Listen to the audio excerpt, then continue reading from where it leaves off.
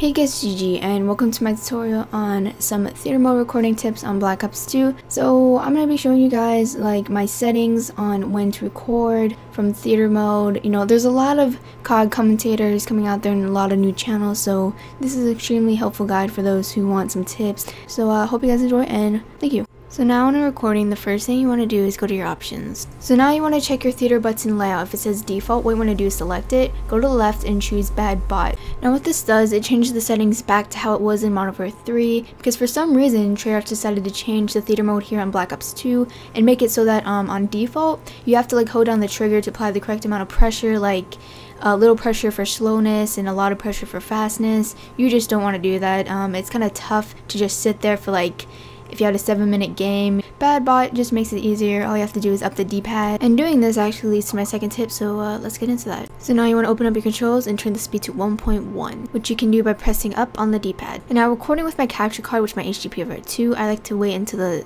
round seconds go back down to 3. If you're playing a game like Domination, it's the middle of the game, the rounds are about to switch. What you want to do is that you want to change your speed to like 6.0 and wait until the round skips. And then you can uh, turn your settings back to 1.1 and then continue playing. So for uh, those end games, what the crap am I doing in this? I'm like laying down.